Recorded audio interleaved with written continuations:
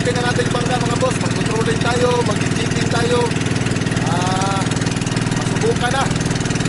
So, samahan nyo ako mga boss sa ating ah, kahit papano ay munting adventure. So, ang ganda ng dagat. Walang alon. Hindi maalon.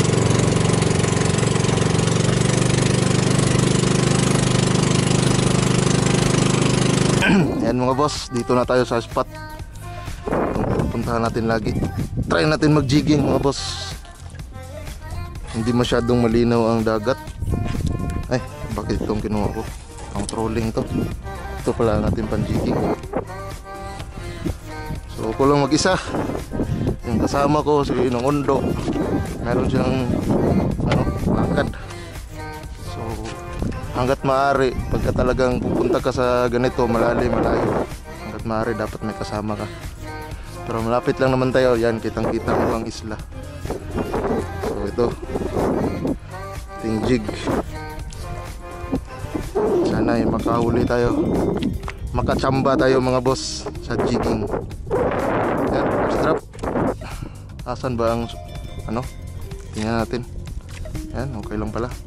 Hindi pala masyadong malakas yung current.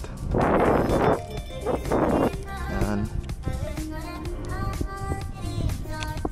Wala tayong huli dito mga boss. Try natin mag-jigging mamaya.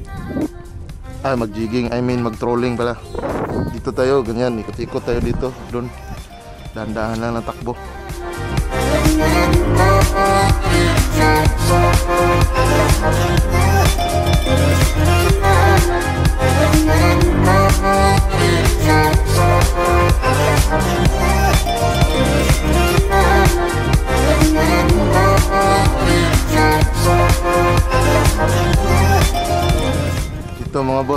Nag-change yung ano dito eh, yung current. Kaya parang gumaganon yung tubig oh.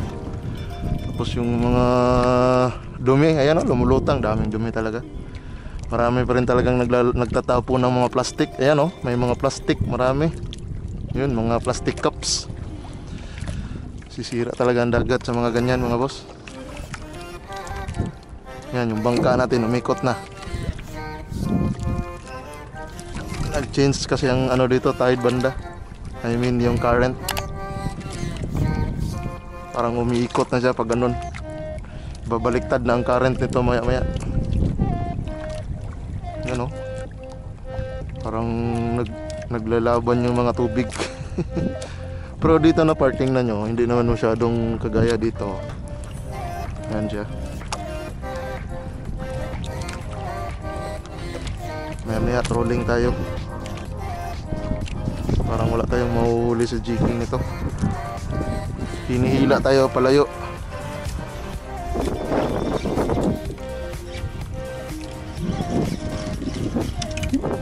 Wala. Talaga mga boss, trolling tayo.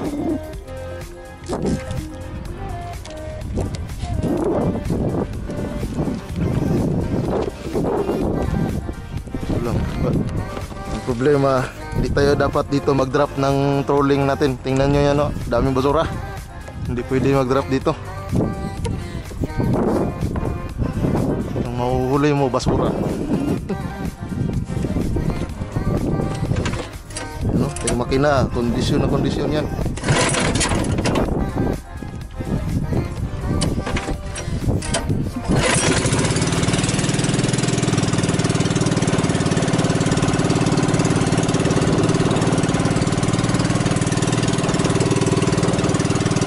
Na tayo. Doon tayo banda mag-drop ng trolling. Walang basura.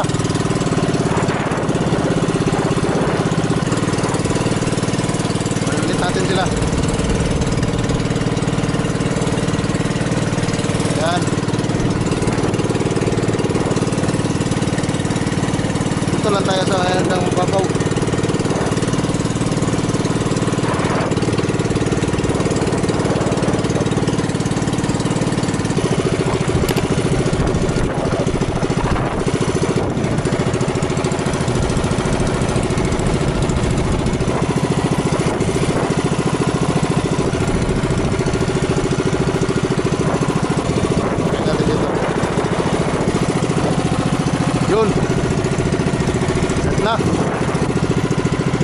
Ano, bent na yung ating ano. Ating patrolling. Medyo matigas yan ang rod na yan. Yan mga boss, rolling. Layo natin ano, siguro mga 40 din pa yan ang layo natin sa ating lure. Galing dito sa ating reel. So, alas, alas 7 na. Wala pa tayong huli. But at least yung ating bangka ay nasubukan na natin mga boss. Okay siya. Yan o, maganda ang kanyang minor. Uh, pinalitan ko na ito ng spark plug kasi yung stock niya na spark plug nasira. Yung nakaraang araw na pagkataguin ko na sana, ayaw na tumakbo. Nasira yung kanyang stock na spark plug. So, bumili ako champion na spark plug. So, bala ko pang bumili ng isa pa para spare. Uh, kapag nasa tayo, magka-problema tayo sa spark plug, at least uh, meron tayong pagpalit. Tapos, nagdala din ako ng mga tools dito mga boss. Kaya no, tools. Uh, yung mga karaan kasi, nung nag-testing-testing ako nito, dito lang naman ako sa malapit. Ah, natanggal yung propeller natin. So, dito, oh. yan, natanggal yan mga boss. Buti, may dala akong may dala akong tools. Yung, ano, yung, tawag dyan? Meron akong adjustable wrench. Kaya, nahigpitan ko siya ulit. So, okay siya. Uh, balik ko. So, ngayon, okay naman yung makina. Yan. Ganda ang takbo niya. Narinig nyo naman sa tunog niya mga boss. Ganda ang takbo.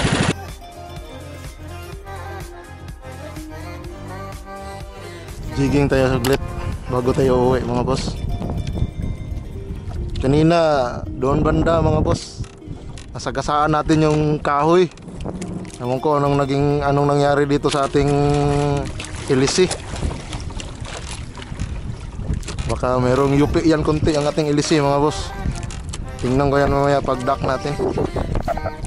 Matay yung makina mga boss nung nasagasaan ko yung namaan ng ilisi yung ano kahoy.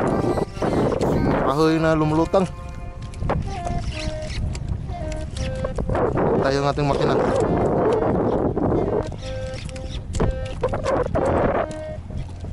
Hindi tayo nasiruhan. Hindi tayo nasiruhan mga boss. Ayan o. Ang bihira.